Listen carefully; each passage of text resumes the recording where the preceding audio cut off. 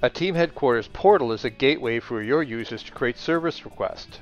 This custom facilities portal supports the addition of forms that capture the information you require in your service request. Each form can have different behind-the-scenes defaults and expect different input from the end user. Next, using the information obtained from the user, the system automatically creates a ticket for the associated department. Add multiple forms. In this case, we see forms for repair, improvements, custodial, and city hall. Just fill in the form, click on the Save Changes button, and the rest is looked after by Team Headquarters.